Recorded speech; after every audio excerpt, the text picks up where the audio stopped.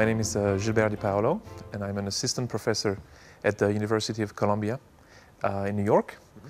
And I'm also part of a center called uh, the Taub uh, Center for Research on Alzheimer's Disease and the Aging Brain. Wonderful. And uh, what about your particular research interests? I know you're a cell biologist and you right. approach the issues from the cellular side rather than the genetic side. Right. So we actually, uh, we are indeed cell biologists. We have a, a great interest for uh, the research on lipids and uh, the lipids that are quite particular in that they're low abundance and they, they have very uh, interesting bioactive uh, uh, properties. And these are the ones that we think might be implicated in, in some of the disorders that we study, including Down syndrome and Alzheimer's disease, as well as others. Great. So you're involved in studying the link between trisomy 21 and Alzheimer's. Right. So we actually have uh, two, uh, at least two research programs, one of which focuses on Down syndrome and another one on Alzheimer's disease. And we have some, some uh, common denominators between these, uh, these two uh, disorders uh, through the study of genes that are quite uh, that are of interest to, to us in the lab. Mm-hmm.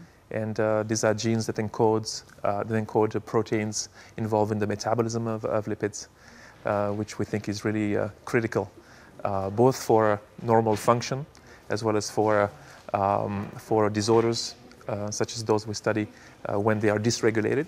Uh-huh. Great.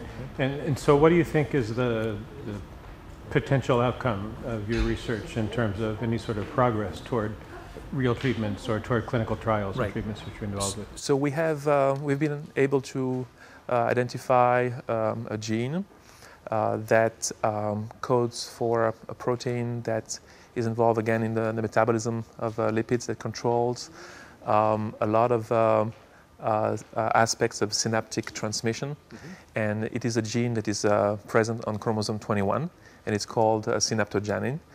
And um, it is, as a result of trisomy 21, it is overexpressed because it's, it is present in three copies, just like the rest of the, the genes present on, on this chromosome 21.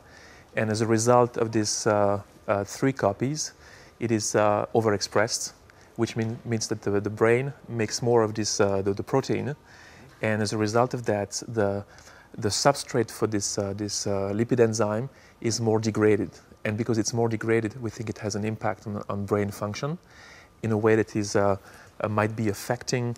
Uh, perhaps learning, the learning and memory in in people with Down syndrome, and we actually have developed a number of animal models, and this was actually a int- collaboration involving uh, several uh, scientists working in the area of Down syndrome, whereby this, uh, we have introduced this, a third copy of this gene in the mouse mm-hmm. and shown that these mice actually have learning disabilities similar to uh, to the ones that uh, are present in, in the broader mouse model of, of Down syndrome that contains a lot, uh, many more genes.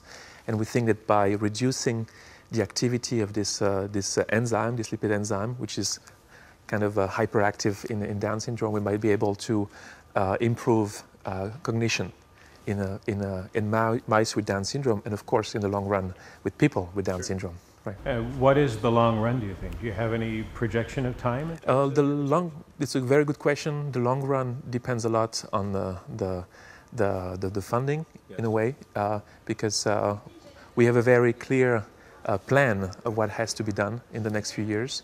Um, but uh, uh, sometimes it's difficult to, to obtain funding to do specific type of experiments. And of course, if we don't, if we don't, we actually um, we, we don't make a, as much progress. It's very obvious. Sure. So, um, assuming that uh, we have all the necessary means uh, to, uh, to, to reach our goals, then in general, if we include all the clinical studies, it's never uh, sooner than 10 years, or we have to think in the long run. And unfortunately, uh, that's, the, that's how long it takes to put a drug in a, in a human. Yeah, but when we think of the history of the research to this point, 10 years doesn't seem very far off. It seems like we're actually very, very close to making significant progress. Absolutely.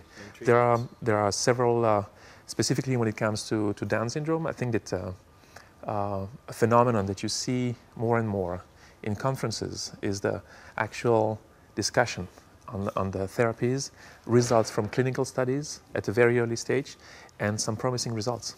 Yeah, it's incredible. So, well, as you know, we're in the process of establishing a presence of the Lejeune Foundation in the United States. we're hopeful that the funding initiatives there will be successful, so possibly there'll be more funds available for your research and others to help move this along much more speedily. And that's very good news.